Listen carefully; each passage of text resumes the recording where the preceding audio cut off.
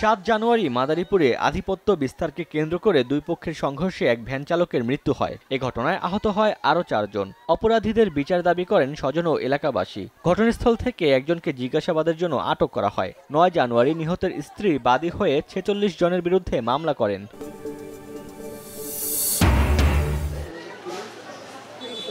চার জানুয়ারি সাভারের আশুলিয়ার নিজ বাসার সামনে থেকে নিখোঁজ হয় ছয় বছরের এক শিশু। পরে তাকে হত্যা করে তার বাবা মার কাছে মুক্তিপণ দাবি করা হয়। সাত জানুয়ারি শিশুটির প্রতিবেশী ভাড়াটিয়া আব্দুল কাদেরকে আটকের পর তার তথ্য অনুযায়ী ড্রেনের ট্যাঙ্কের ভেতর থেকে লাশ উদ্ধার করা হয়। এ ঘটনায় র্যাব বাদী হয়ে আশুলিয়া থানায় মামলা করেছে।